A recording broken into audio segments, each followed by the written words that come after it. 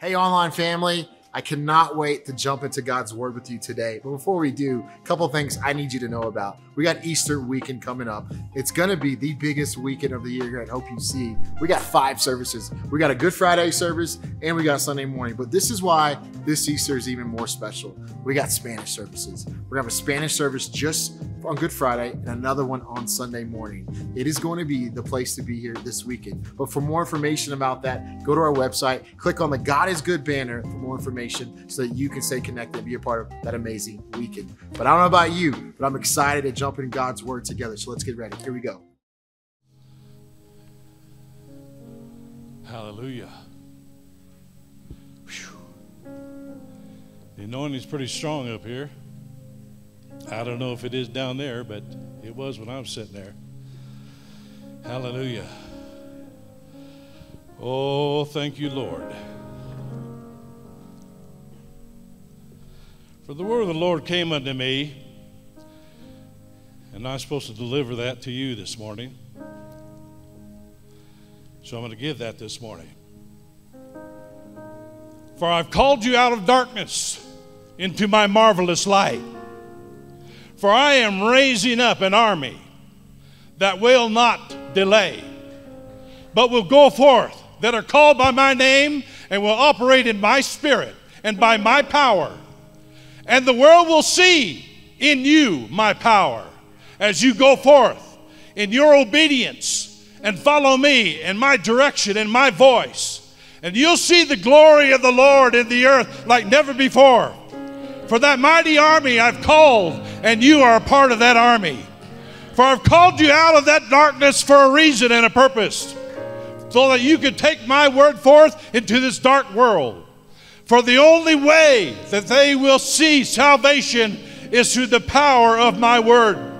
And I will speak it forth as you go forth out of your mouth, and they will see the power of God in this earth. Do not delay, do not be afraid, for in this last day, as I move upon the earth, as I plan my plan, they will see surely the glory of the Lord and the power of my spirit as you go forth in obedience. In Jesus' name. Hallelujah. Woo! Whew. Hallelujah. Glory to God. My, my, my, my. Mm. God is good, isn't He? I would like to uh, say something about the pastors here. You know, the Bible says that we don't wrestle against flesh and blood, but against principalities and powers, against spiritual wickedness in high places.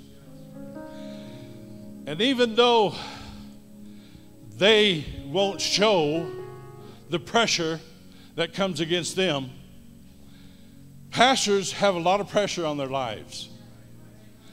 And the Lord wanted me to tell you to get behind your pastors like never before and pray for them. Because the realm that we can't see in the spiritual realm, there are enemies trying to take them out and take them down, just like they do all of us. And so I highly encourage you to pray for them, to get behind them, to be with them, to tell them we're behind you. Not only with our gifts and our talents, but our finances. You know, I'm thinking, Pastor's talking about finances, and it's just like tithe. What is a tithe? 10 cents on a dollar. 10 cents.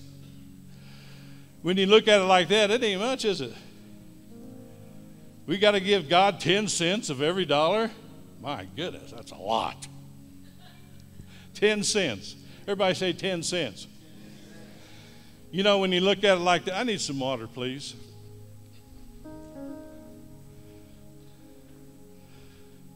Thank you very much. I open my mouth, my mouth dries out. Hallelujah.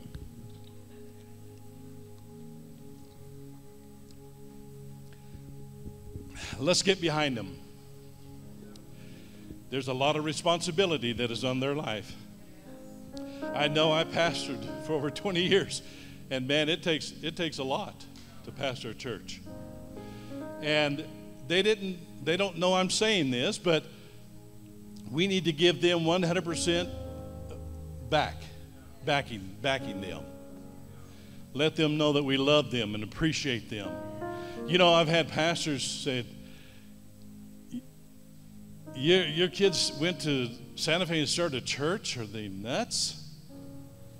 I wouldn't go there if God came to me in person. I mean, He'd have to come to me in person and talk to me to go to Santa Fe to start a church. This ground is hard. And it takes people like them who love God, who are sincere. They may not be perfect, but they are sincere. Let me tell you something. If they weren't, I wouldn't be here. I'd get on them. I don't mess around. I'm serving God with my whole heart. And they better get with the program. Or I'll, I'll get I'll tell them. Amen. I can tell them I'm their daddy.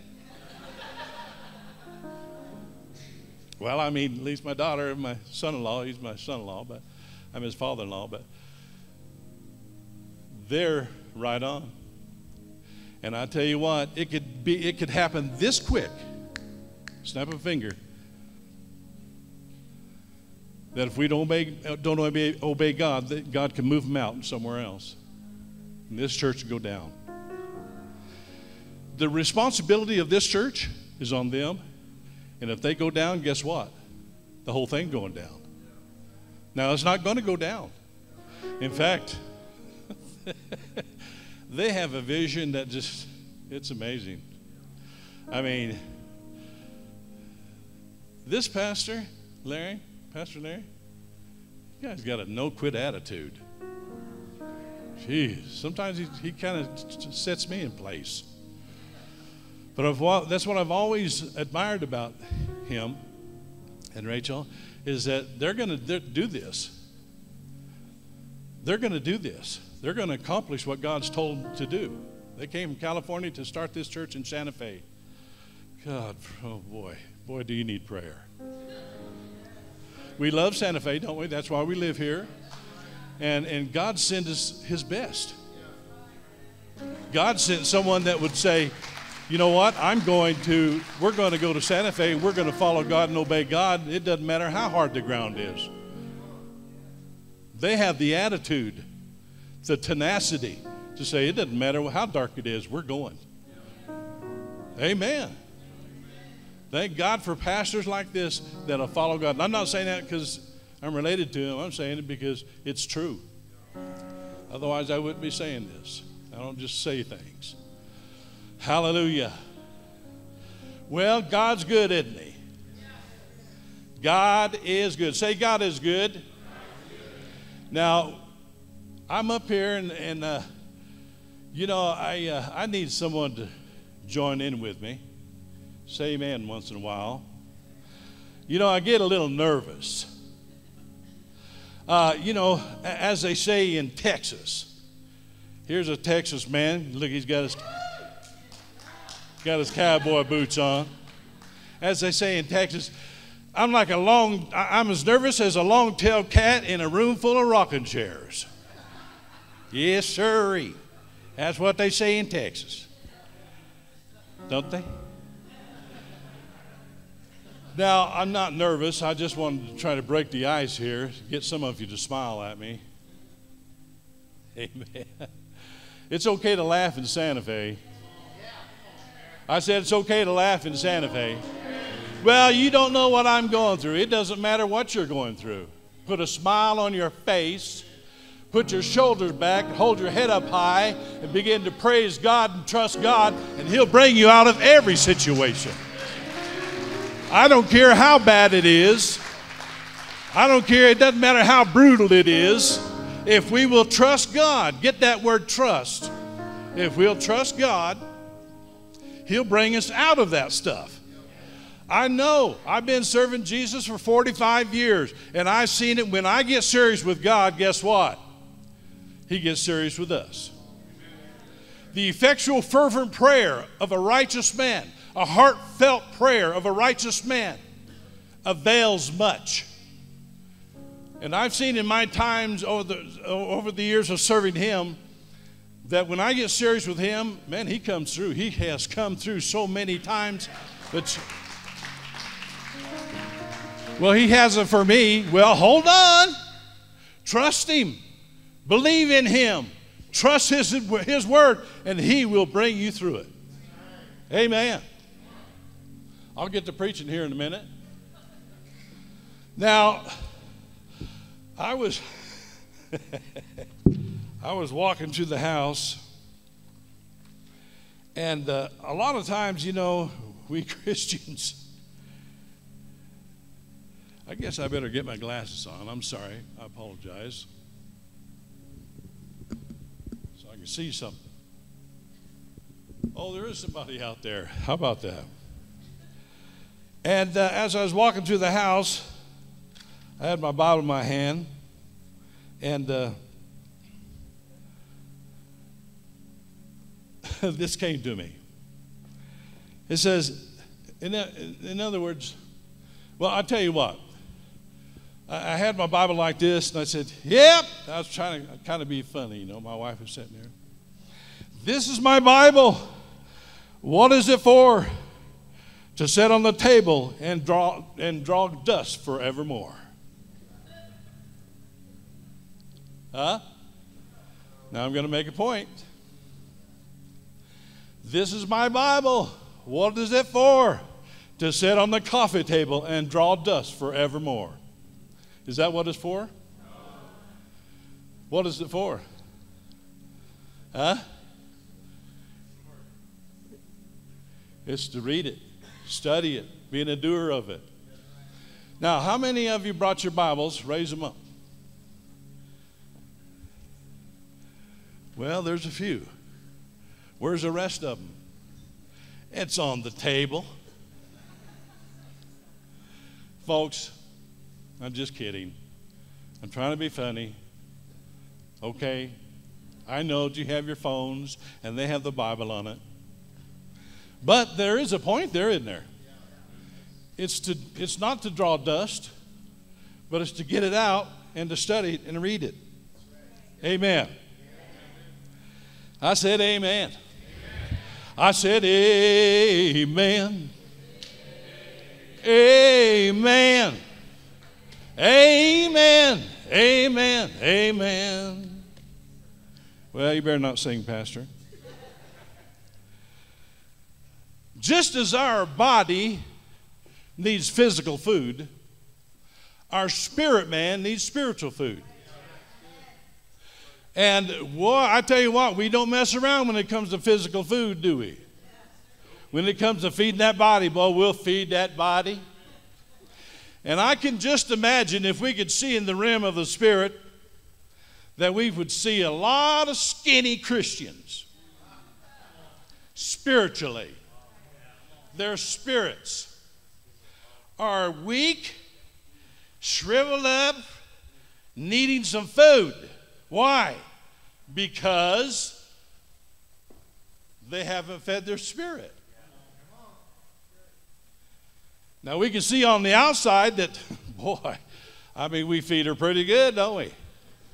Amen. But on the inside, our spirits need to be fed. The pastor's been talking about love, the love of God. That love isn't love until you give it away. But we have to understand also, I want to add to that, not only do we give it away more than, it's got to be more than just once. It's got to be a lifestyle or a continuation of giving that love to a lost and dying world and to your spouse or to your family or to whoever, whoever. Love isn't love until it's given away. We got to give it away. What does John 3:16 says? For God so loved the world that he gave. What did he give? He, give his, he, he gave his best, didn't he? Amen.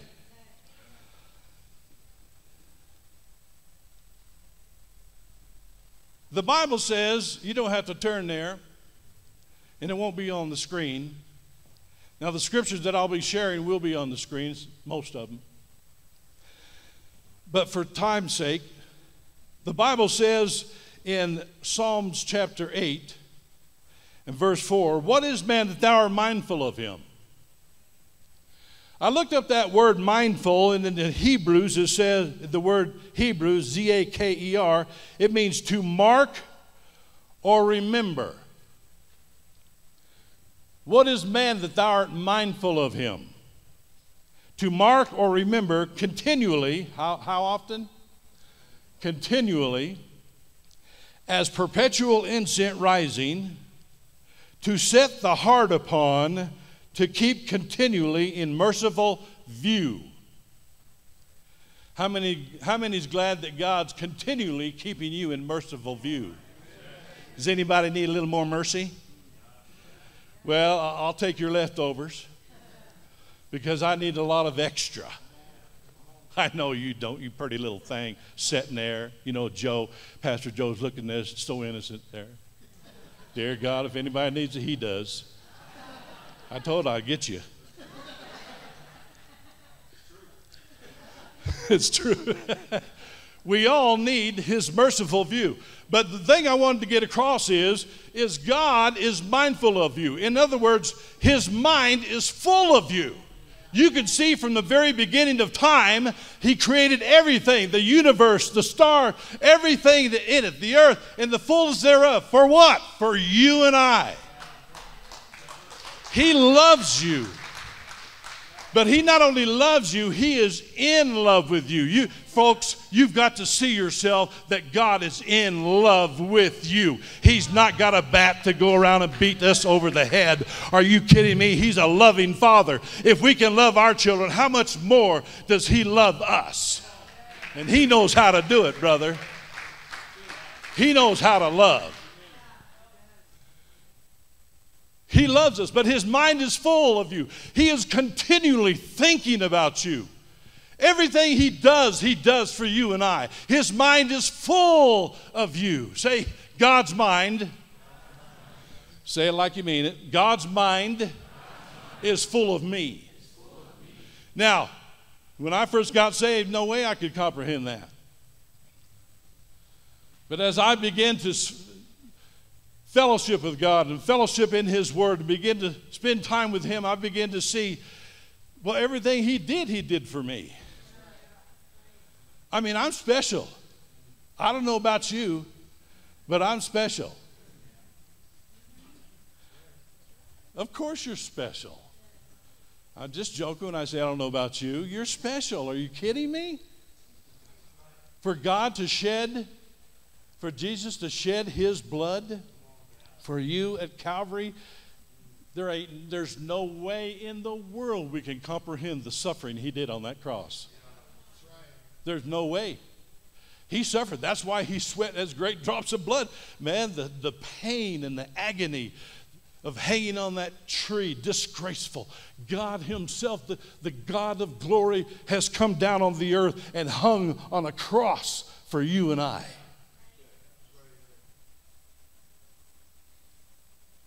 And if you don't know Jesus Christ as your Lord and Savior this morning, we're going to give a call at the end of the service, and God's going to save you and make you a new creation. He loves you.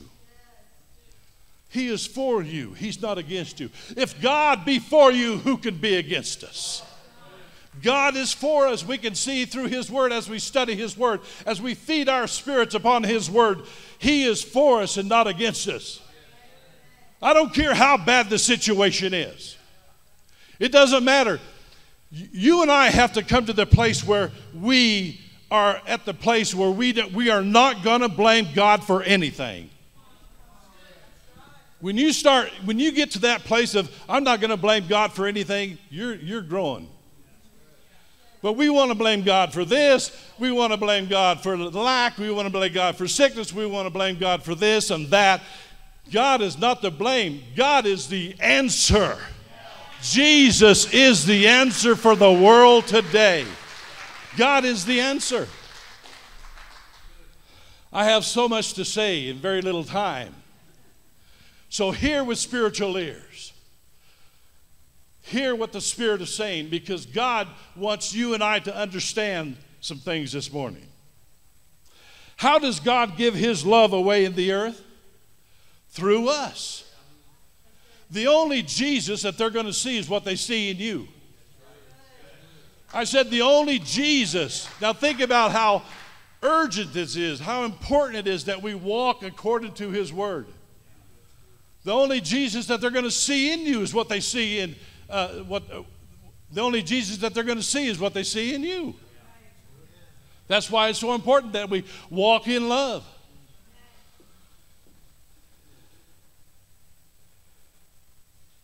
So, in order for us to be successful and fulfill His will in the earth, we are going to have to be spiritually minded or spirit conscious.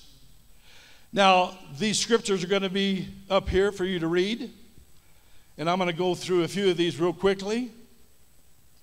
In 1 Thessalonians chapter 5 verse 23,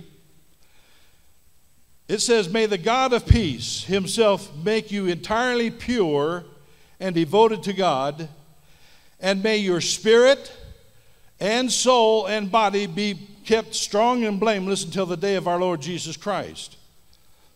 Now, why did Paul say spirit first? You know, these men of God that were moved by the Holy Ghost, they were moved by the Holy Ghost and inspired by the Holy Spirit to write these things. And if you'll notice there in that scripture, it says, And the God of peace sanctify you holy. Spirit, holy, not H O L L O Y, but W H O L L Y. Holy, your whole spirit. Now listen to me, some of you some of you are kind of drifting off. Don't think about lunch yet. Looky, listen to me. Look at me in the eyeball. Your whole spirit and soul and body, that your whole spirit, soul, and body be kept strong and blameless. Your whole spirit, soul, and body. Now, notice that your whole spirit. See, what we don't, don't understand sometimes is we are a spirit, we have a soul, and we live in a body. I'm going to say it again. We are a spirit. That's who the real you is. That's why when this body lies down, your spirit goes to be with the Lord, as long as you're saved. But your whole spirit, soul, and body. So your spirit, which is the real you, your soul, your mind, your will, your emotions, and then your body. Your body, you have to have a body to be on earth. When your body dies, you leave. So, in order for us to be successful as Christians and, and give the love that God's given us, we're going to have to be more aware of our spirit man than our fleshly man, the body. You and I need to begin to see ourselves as a spirit. That's the real us, with a soul that lives in a body. Your body is not the real you. Your body is like, I say, uh, I'll say it like this, is an earth suit. Amen. Now, I want to read something else here in Ephesians, we're talking about the inward man. The inward man. Say inward man. Have I lost you have you gone home? Are you here? Are you here? All right. Ephesians 3:16 says that he would grant you according to the riches of his glory to be strengthened with might by his spirit in the inner man. There it is again. In the inner man. Then, in 1 Corinthians 9:27 it says, But I keep under my body and bring it into subjection, lest by any means, when I preach to others, I myself should be cast away. All right? Notice he said, But I. Is that what it says up there? But I keep under what? my body. and bring it into subjection, lest by any means, when I preach to others, I myself will be a castaway. Notice these scriptures talking about spirit, soul, and body, the inner man, the hidden man of the heart, the Bible says. So, one of the key ways that we can give this love away is by recognizing that we are a spirit man and walking after that spirit man. Because if we walk after the flesh, if we walk after that body that has feelings and is fickle, you know, it's got the five physical senses. How many knows that the feelings are fickle?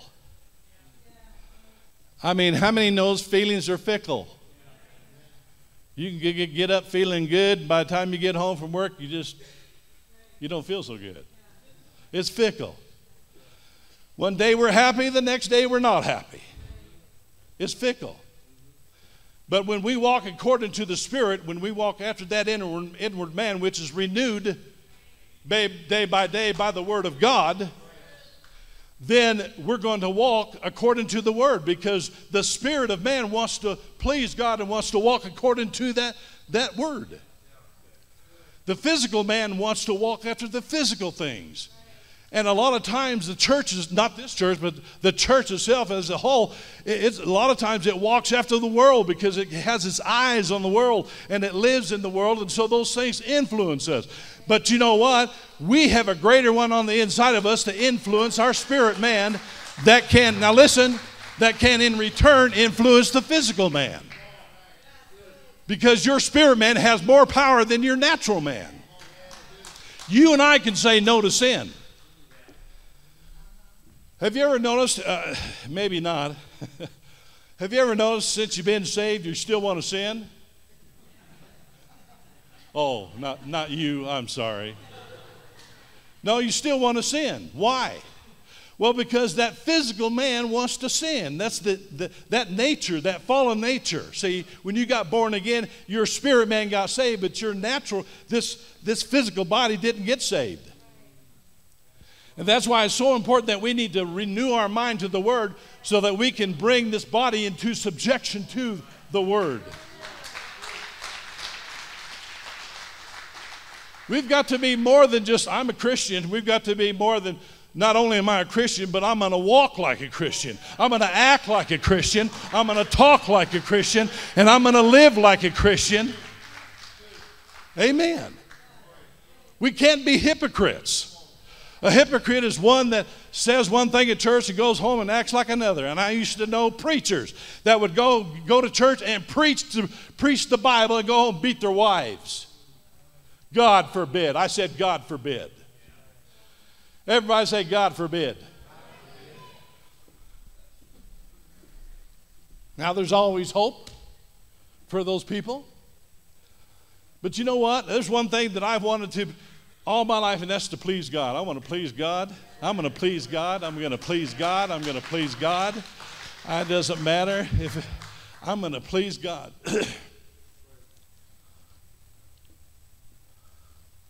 And you know what? Blaming God for, for different things and blaming people for this and blaming, I don't like the way the pastor does this. Hey, is anybody perfect here? If you pastor this church, you do it a different way, I'm sure. Amen.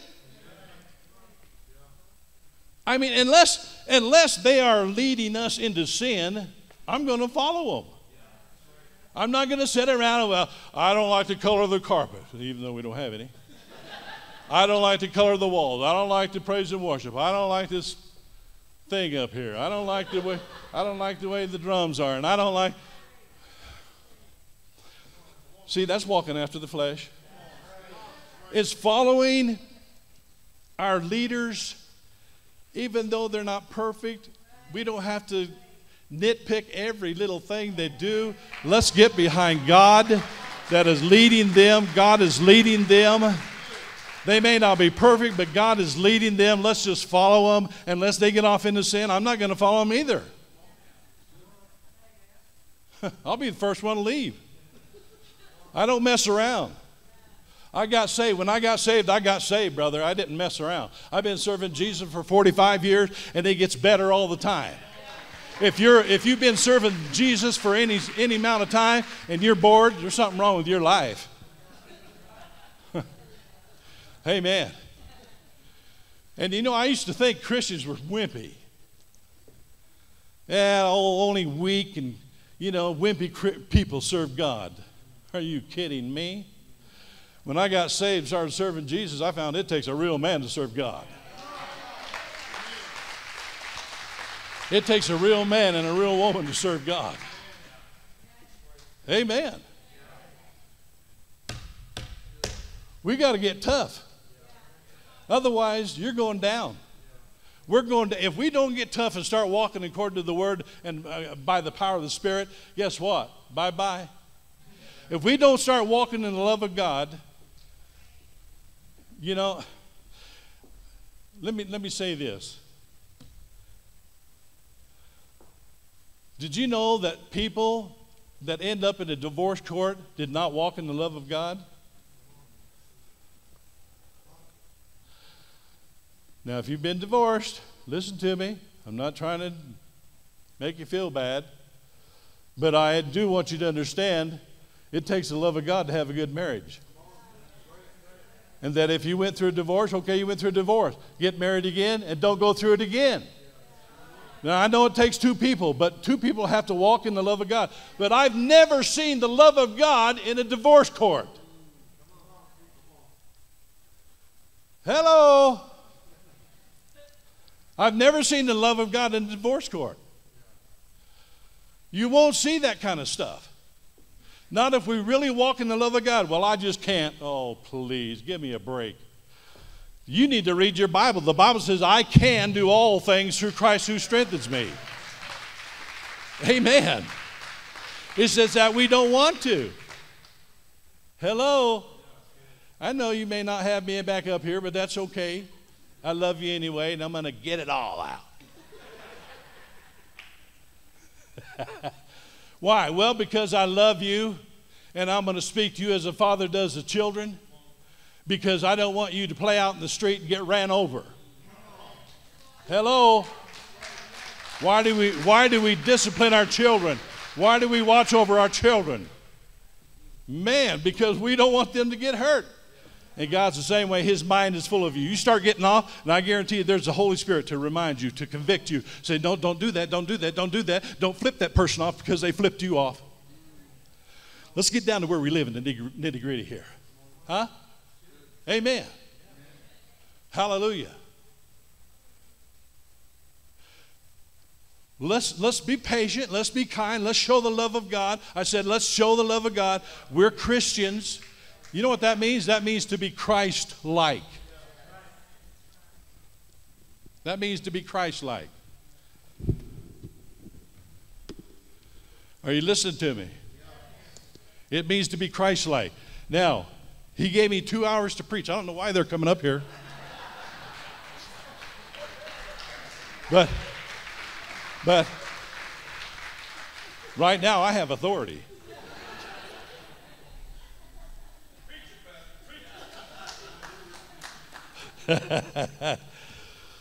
well, he may not, Pastor may not ever let me come up here, so I'm going to get it all out. Like, uh, but, but, but you know, the number one key is to living a successful life and getting the people, getting the love of God to people. Listen to me. And that is to be spirit minded. To be spirit minded. In Romans chapter 6, I mean, verse 8 and verse 6, it says, Now here we go. For to be carnally minded is death, but to be spiritually minded is life and peace. I just don't have the peace, and I don't have. I just don't have the peace, and, and you know, I I just don't have the that life and peace in me. You're not spiritual minded. Now notice, for to be carnally minded. Now that word carnally means to be body ruled. So we can read it like this: For to be body ruled minded is death. and anything that death has to deal with. Amen? But to be spiritually minded is life and peace. Now, to be body ruled is to be ruled by that lower nature. That lower nature, which is of the body. It talks about let me uh, i want to uh, go to another another scripture here we need to see according to galatians in chapter 5 verse 16 through 17 this i say then walk in the spirit and you shall not fulfill the lust of the flesh for the flesh wars against the spirit, and the spirit against the flesh, and these are contrary one to the other, so that you cannot do the things that you want to do. In other words, you're born again spirit man on the inside. Your spirit man is warring against that flesh. That's why that's why we have such a struggle. Is because our flesh wants to do, do one thing and our spirit wants to do another. Our flesh wants to obey God. But uh, I mean, uh, our spirit wants to obey God, but our flesh wants to obey that lower nature, wants to obey sin.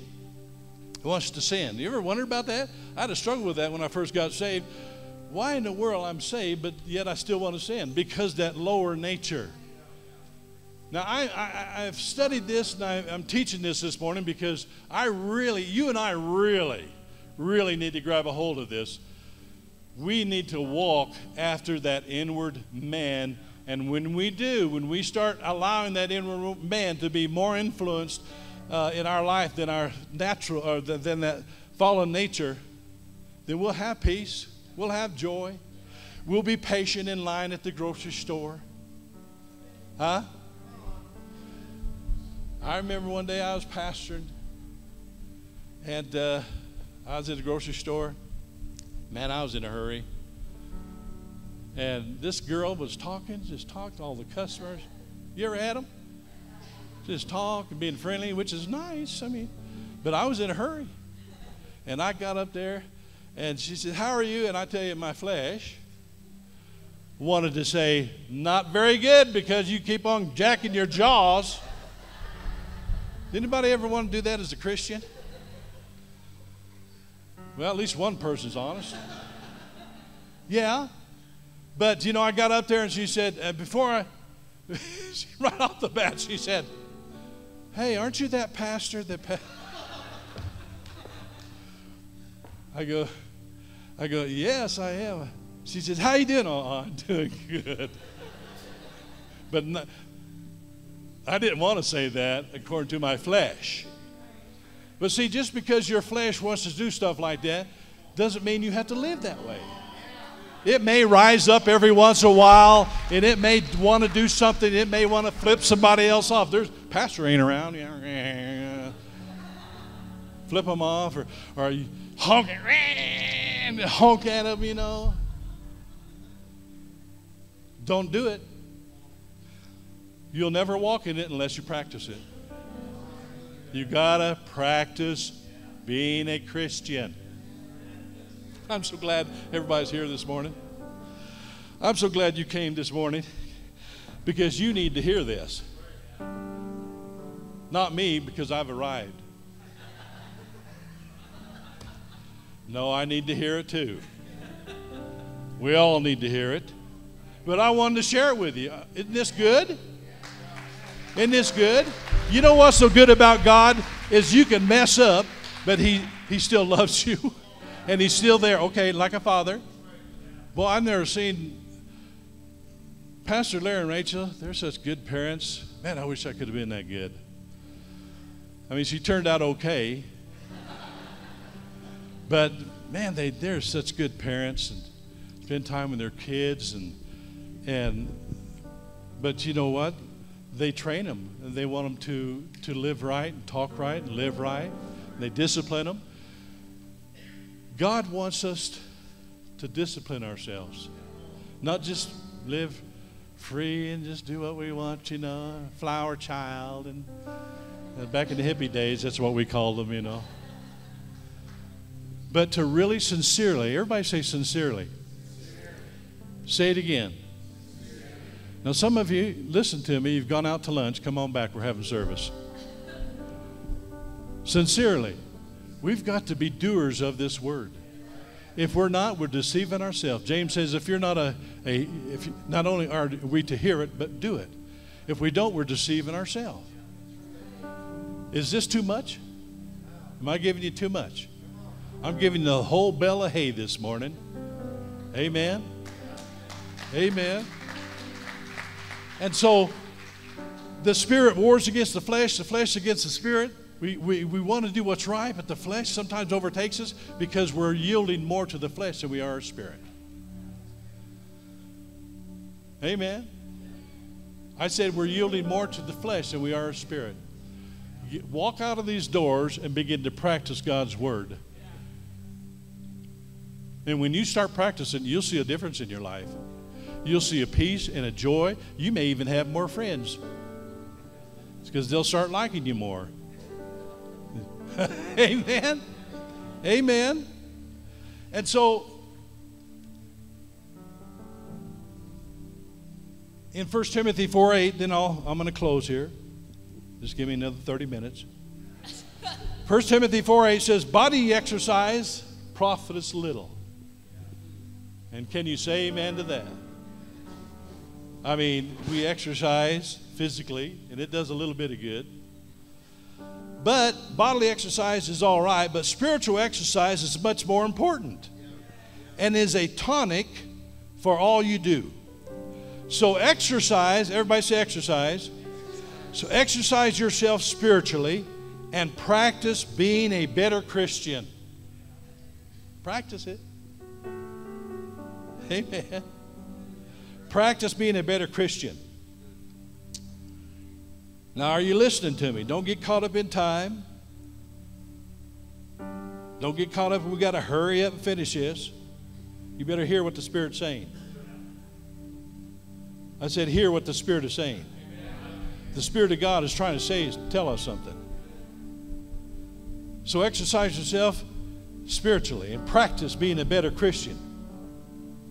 Because, because it will help you not only in this life, but in the next life to come. So, how do we practice being a better Christian? By giving His love away, by walking after the Spirit, reflecting His love. Here we go. The love of God. This is what's in you. The love of God's been shed abroad in your heart by the Holy Ghost. What kind of love is that? The love of God. Love is very patient and kind. Listen, don't think this is for your neighbor. Love is very patient and kind, never jealous or envious, never boastful or proud, never haughty or selfish or rude. Love love does not demand its own way. It is not irritable or touchy. Ooh, look out. It does not hold grudges and will hardly even notice when others do it wrong. It is never glad about injustice, but rejoices whenever truth wins out. If you never, uh, says, if you love someone, you will be loyal to him no matter what the cost, or her, or them. You will always believe in Him, always respect him, the best of Him, and always stand your ground in defending Him.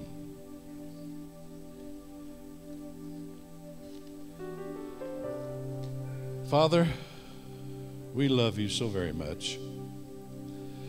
And I thank you, Father God, that each and every person today heard what the Spirit was saying.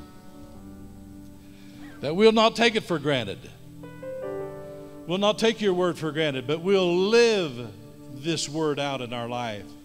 We call ourselves Christians, oh God, that we would practice being a Christian. We have a choice. We can live spiritually or we can live carnally. And people wonder why they have the problems that they have because they're walking after the flesh. But I believe that this church, Hope UC Santa Fe, will begin to walk after the Spirit and begin to live the good life.